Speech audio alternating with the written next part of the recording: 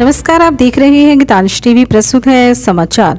कांडी से साकेत मिश्र की रिपोर्ट। कांडी प्रखंड में हर्षोल्लास के साथ जन्माष्टमी का महापर्व मनाया गया। मलियारी गाँव स्थित शिव मंदिर के प्रांगण में बारह घंटे का अखंड कीर्तन का आयोजन किया गया, जहाँ मुख्य अतिथि के रूप में पंचायत के भावी मुखिया प्रत्याशी दुर्गावती देवी, पति सत्येंद्र पाल फौजी ने शिरकत की। उन्होंने फीता काटकर कार्यक्रम का शुभारंभ किया, तथा इक्कीस सौ की नगद सहयोग राशि भी प्रदान की।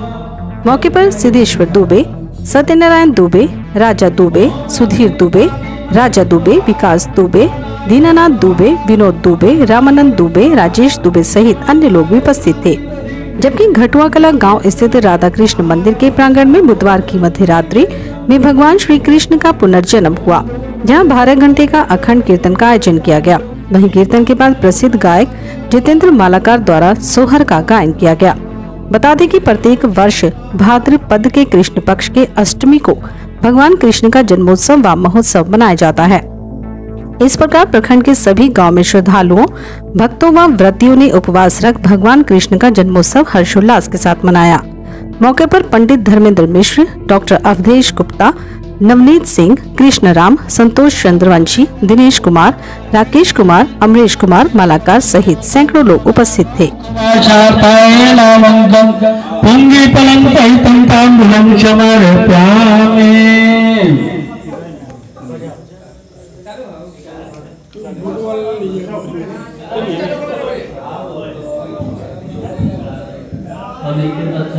मुखिया जी।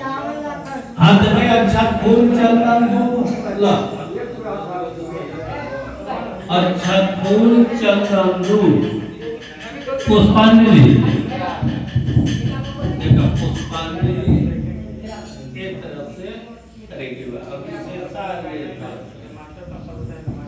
ओम यज्ञ नगरमय दन्तः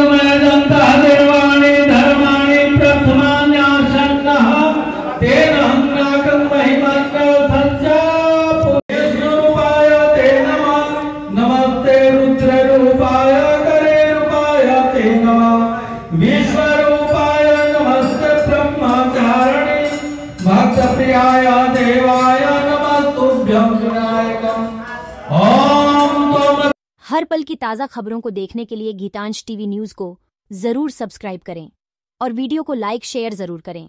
धन्यवाद।